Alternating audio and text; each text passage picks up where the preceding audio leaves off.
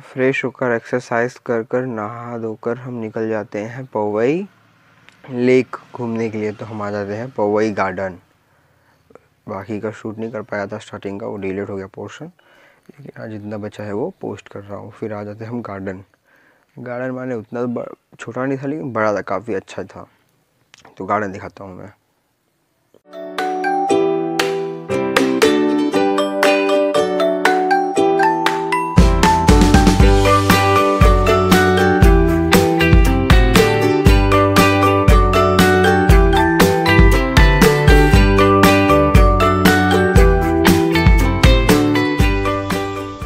फिर मैं गार्डन से निकल जाता हूँ पवई लेक के लिए।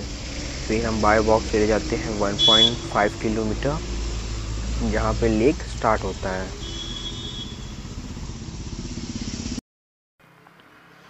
ये रहा मेरे लेफ़्ट में पवई लेक बारिश की वजह से बारिश तो पानी भरा था, लेकिन वहाँ एलगी वगैरह आ गई थी पानी में तो उतना खास दिख नहीं रहा था, लेकिन हाँ स्टिल ठीक दिख रहा था।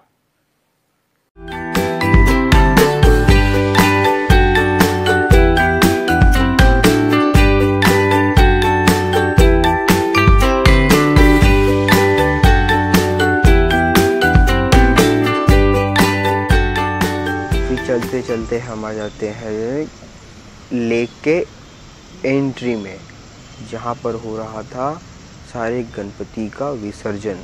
सबसे बड़ा स्पॉट बना हुआ था कि यहाँ पर बड़े बड़े गणपतियों का होता है विसर्जन।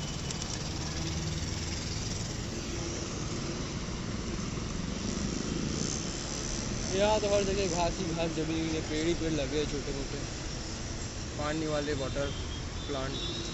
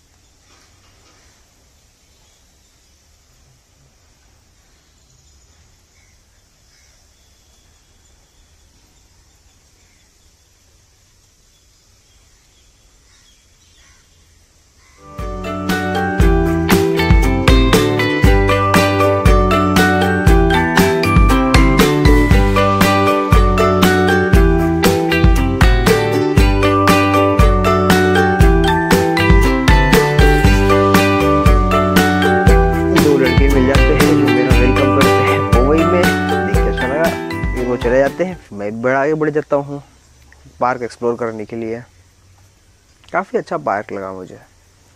पीस था, लोग यहाँ पे आके बैठ रहे थे, अपना टाइम स्पेंड कर रहे थे। काफ़ी अच्छा है।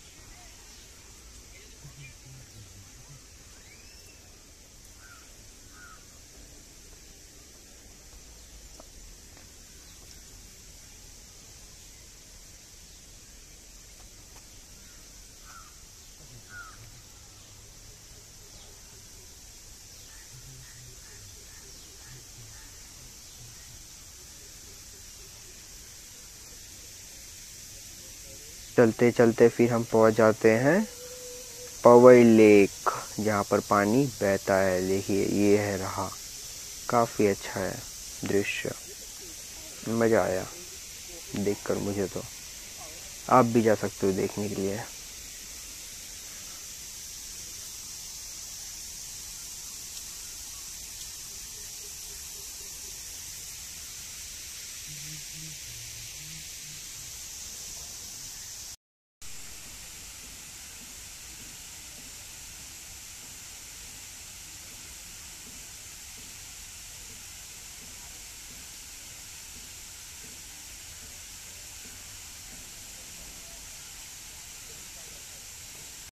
फिर हम इंजॉय कर कर बस लेकर आ जाते हैं वापस साकी नाका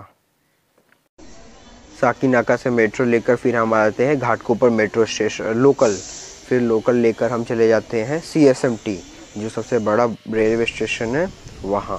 क्योंकि हमारी ट्रेन बुक की थी, मैंने वहाँ से सी एस एम टी से नागपुर के लिए तो हम निकल जाते हैं C S M T railway station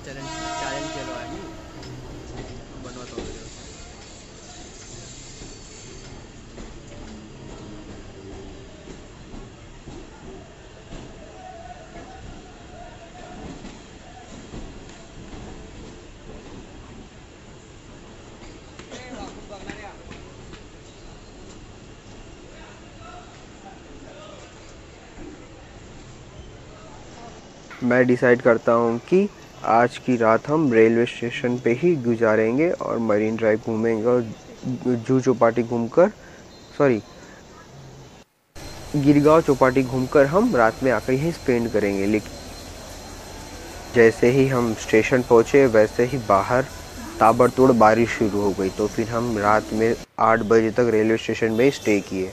फिर देखिए तो थोड़ी बहुत बारिश हो ही रही थी। तो हम अपने डिनर का इंतज़ाम करने के लिए चले जाते हैं बाहर।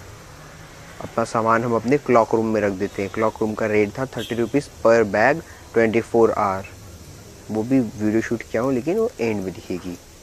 सो हम निकल जाते हैं C S M T railway station के आजू बाजू स्ट्रीट पर। तो वहाँ पर टोटल 18 प्लेटफॉर्म्स हैं सी एस एम टी में। ये रहा C S M T railway station का कुछ व्यू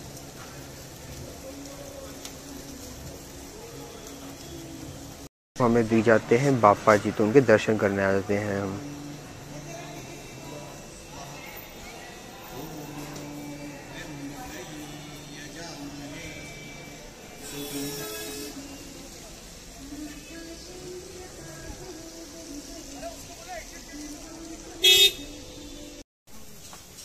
अब हम ठहरे शुद्ध शाकाहारी तो हम खाते हैं इडली, डोसा और गरम गरम chole bhature.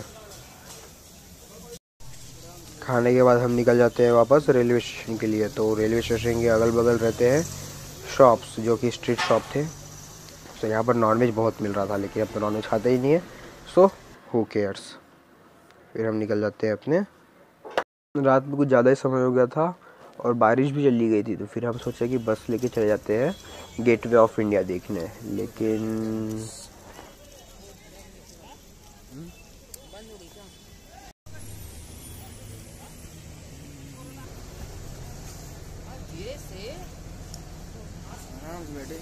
C S M T railway station के बगल से ही एक बस मिल जाती है जो कि हर पाँच दस मिनट में सी एस एम टी से गेटवे ऑफ़ इंडिया लेकर जाती है। तो उसका कॉस्ट होता है five rupees per person, sorry, six rupees per person. So वो आपको रेलवे स्टेशन से गेटवे ऑफ़ इंडिया छोड़ देगी।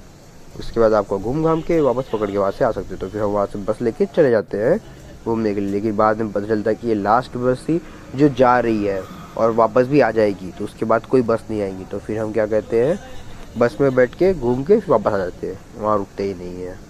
क्योंकि लास्ट टाइम हम घूम चुके थे तो हमें पता है। इसलिए हम नहीं रुके।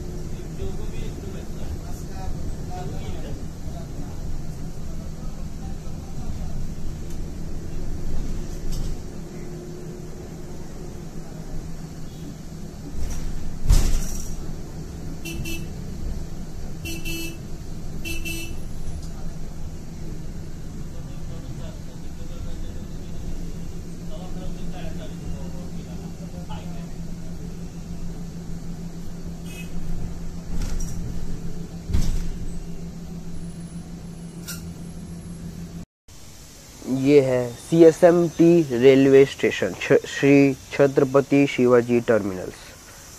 काफ़ी सुहानी लाइट और यहाँ रोज़ नई नई कलर की लाइट जलती रहती है। काफ़ी मज़ेदार है देखने में। आके ज़रूर देखिए। मुंबई घूमने लायक है। सही में ये सपनों की नगरी है।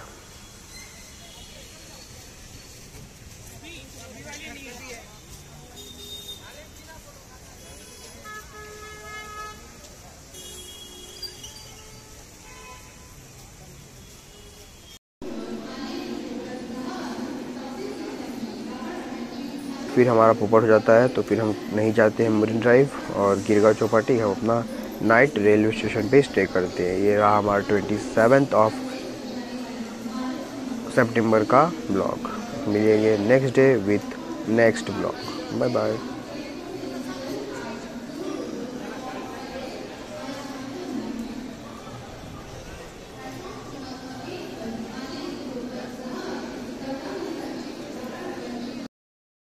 thank you for watching this blog stay tune for next part of this blog so मिलते हैं नेक्स्ट वीडियो में. Bye bye